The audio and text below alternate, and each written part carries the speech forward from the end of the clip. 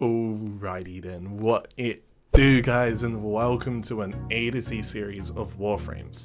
Today we're kicking off the series with Ash and we'll be looking into a bit of his trivia, fashion, ability kit and builds. So let's just get straight into it.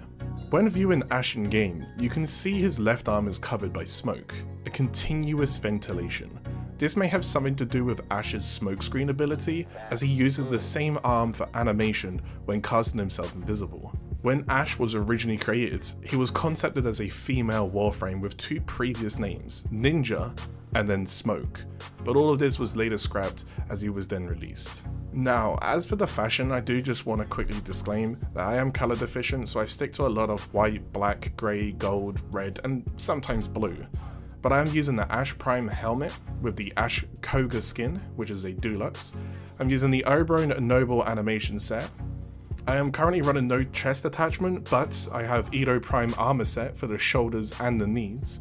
I would use the Smoke and Body Ephemera if I had it, but I currently do not. I'm currently using the Sildug Syandana, which is a TennoGen. I have the Infati Sekhara on the left and right arms, and I have no front and back regalias. As for the color palette, I thought it was appropriate to pick smoke, so my primary is row 1, column 18, my secondary is row 4, column 11, my tertiary is row 2, column 2, my accents row 1, column 18, and finally my energy row 1, column 1. So if you guys want to go and copy it, you're more than welcome to go ahead and do so. Now let's get into the abilities, and we'll start off with his passive, Hemorrhage. Any slash procs that are procced by Ash or a weapon that Ash is using will deal 25% more slash damage and last 50% longer than usual. Next up we have Shuriken which is Ash's 1. Ash throws out two shurikens which will seek out enemies dealing 500 slash damage with a 100% status chance prop for bleed. You will also get bonus bleed damage over time if the shuriken hits the enemy's head. This ability is genuinely ramped up because of Ash's passive. This ability also scales off strength mods and efficiency mods. Next we have his smokescreen, which is his second ability. Ash throws down a smoke bomb that will make him and his companion invisible for 8 seconds. Enemies within the 10 meter cast radius will be staggered. Now this ability scales off duration mods, range mods, and efficiency mods. Then we have Teleport, Ash's third ability. Ash will teleport to the target within 60 meters. This includes enemies, allies, companions, hostages, cryopods, excavators, and destructible objects. If targeted an enemy, it will open them up to a melee finisher attack. This will require line of sight, which means you need to be able to visually see your target. This ability scales off range mods and efficiency mods. And lastly, we have Bladestorm, which is Ash's fourth and final ability. Ash will target enemies within the direction of his aiming reticle for assassination by his shadow clones. Staring at the same enemy for longer, or by dragging your aiming reticle back across the same target, will add extra marks to the target. The more marks that the target has, the shadow clone will return back to them and attack more. Each target can stack up to 3 marks individually. So Ash can actually have up to 2 shadow clones active at the same time. If there are 3 enemies, 2 of them will receive damage simultaneously, and then the third enemy will receive his damage once the first two animations are over, so they take it in turns. Each strike completed by a shadow clone consumes 1 mark, and performs a finisher attack on the enemy, which deals up to 2000 true damage and a 100% status chance for slash proc.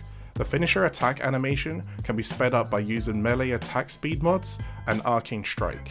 Also by some other Warframe abilities like speed from Volt, penance from Harrow and Warcry from Valkyr.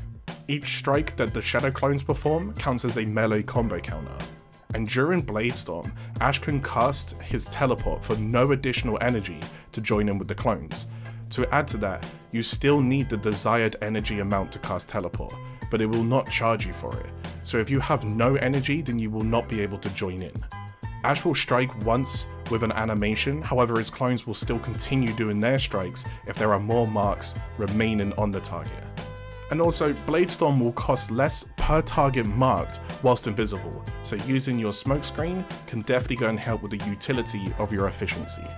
And now we'll just move on to the builds. And here I have a general Ash build. This is mostly focused on using his first, second, and third abilities, and not so much on his fourth ability. He can still benefit from using his Blade Storm, but I'm focusing mostly on survival, plus armor stripping, and then Fatal Teleport to kill off any enemies that I may struggle against. The Seeking Shuriken augment says hits expose weaknesses on enemies, reducing their armor by 70% for 8 seconds. The armor stripping on, on this mod can be ramped up to 100% at 145% strength, so any higher strength doesn't really help out with this mod. The duration can be pushed up as well, hence the high duration on my build. So as for this build, I have 100% armor stripping and 20 seconds as a debuff to enemies with armor, like the Grineer. Smokescreen, which is Ash's second ability, is mostly focused around duration. It shares the exact same durational length as the Seeking Shuriken Augment, both with a base of 8 seconds, so again, duration is key here, allowing for good survivability with Smokescreen's visibility and the debuffing of enemies with Seeking Shuriken. I also use Rolling Guard as a mod because you cannot refresh Smokescreen, instead you wait for the invisibility to run out. So when I have around 1 second remaining before enemies can see me again, I simply roll to make myself invulnerable, and then recast my smokescreen safely without any interruptions. I myself don't personally need a lot of range on my builds, it's mostly affecting his teleport and blade storm abilities, but I find both of their base range to be more than acceptable. If you do want to add a little more range, then you can do so if it fits your playstyle better. The Fatal Teleport augment says, Teleport will perform a finisher on the target, dealing 200% extra damage. Now 50% of the energy cost is refunded on a kill. What's mostly nice about this is that the base teleport ability opens enemies up to finishers, however, with this augment you will go straight into a finisher attack regardless. The extra damage can be stacked up with a mod from daggers called Covert Lethality. So, checking into our Balla build on our dagger, we are using mods here to help the damage and utility of finisher attacks. Straight up flat damage like Prime Pressure Point, Spoiled Strike, and 2 times elementals of Northwind and Prime Fever Strike combination for viral. And then the attack speed mods and only mods arcanes and Warframe abilities can help speed up the finisher animation. So Prime Fury and Gladiator Vice uh, to help speed, speed things up. The Balla Dagger does not actually speed any, anything up with the uh, particular grip and links that you take. That doesn't contribute towards the animation speed. I do realize Spoiled Strike has a negative against attack speed, but we still have plenty to work with, so it's all gonna be fine. Finally, Covert Lethality for 100 extra damage on finishers, and Finish Finishing Touch to help add that overall finisher damage. Teleport and Blade Storm can both proc Arcane Strike for attack speed on my Ash, my Warframe, which will help with finisher animation speed, and Exodia Hunt on my Zaw for lifesteal towards Ash and my Warframe. These two builds together, I can one-shot a level 165 enemy without any issue. So then, with all that being said, I'll leave a little gameplay footage of me playing Ash to show people what kind of ability cycle and movement I do. I really thank you guys for coming to check out my A to C series on YouTube. I did spend a day with a frame on my twitch.tv streaming account to learn as much as possible. So if you ever want to see the process of how I learned, then you can check the link in the description. That being said, I unfortunately did not save the Ash VOD, so I apologize but for the next few frames, uh, you should hopefully have footage of me learning them step by step. As for the fashion and builds, please take what suits you and discard what does not. Warframe is about variety, there is no right and wrong about how you want to customize your setup, so if you have some unique builds you can always share them with me. Uh, also, you can tell me how you guys found Ash in the comments below. I personally think Ash is an exceptionally fun frame to play.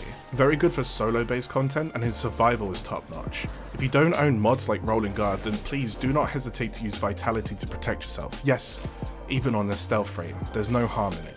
Take your time to learn how to position to better areas and understand the enemies and factions you are fighting. This way you can safely recast your smokescreen and then get back into the action. So, until next time guys, I would appreciate any feedback and ratings on this video, but overall just a thank you that you guys came here to watch and maybe you learned a thing or two. Regardless, I'll catch you guys on the flippy, thank you so much for watching, I'm out of here. Peace!